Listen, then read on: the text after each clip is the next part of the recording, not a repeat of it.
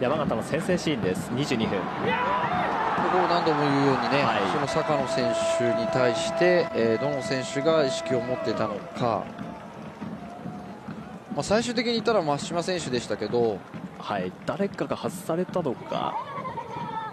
うん。あとはラリベイ選手も近くにいましたかね。一方の後半立ち上がり少し攻勢を強めました千葉8分。代わって入った為田のシュート、うん一つ田選手が入ってからは、まあ、為田選手自身の良さっていうのは何度も出しましたよね。11分の追加点、ここ、千葉の守備。ここ、今、1人倒れてましたよね、はい、そこでも剥がされたんですかね。なんかファールかなんかをこうアピールしてますけど、その辺りだからボールが出てからじゃなくてポジショニングの争いのところで1つ坂野選手に負けてしまったということなんでしょうかね。ファウルがなかったということはね。21分の矢田のシュートです。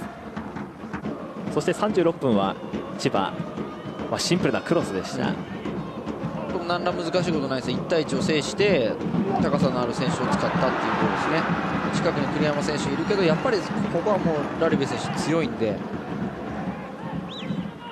タイミングさえ合えばもうこういうシーンをね作り出せると。で本当にここからあと何回こういうシーンが作り出せるかっていうゲームだったわけですけどなかなかなかったですね。この後40分にはゴール前の混戦。しかしここで清武がオフサイド。オフサイドはオフサイドですね45分は山形のカウンター。